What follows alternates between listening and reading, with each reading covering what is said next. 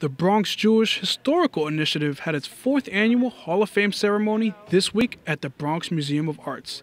This year's ceremony included six inductees that highlighted their accolades in the Bronx. We need to tell the story of the Jewish people in the Bronx.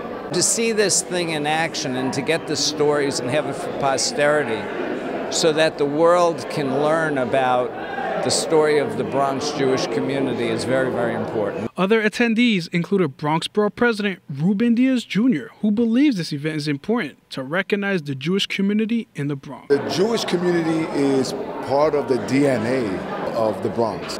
We're here to say thank you for setting that foundation. We're here to say thank you for, for doing great things in the planet. We're here to say thank you for being Bronx ambassadors. We're here to say thank you for never being bashful about saying where you and telling people where you're from. Ethan Geto, born and raised in the Bronx and one of the inductees, considers the induction an honor.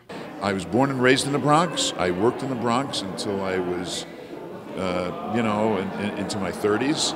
Uh, my, uh, my parents lived here, my children were born here and, and, and raised here. And uh, so the Bronx heritage and my Jewish heritage coming together in this kind of uh, an award is, is very meaningful to me. Inductee Betty Weinberg Ellerin moved from Connecticut to the Bronx at age 14 and ultimately began a career as a New York State judge.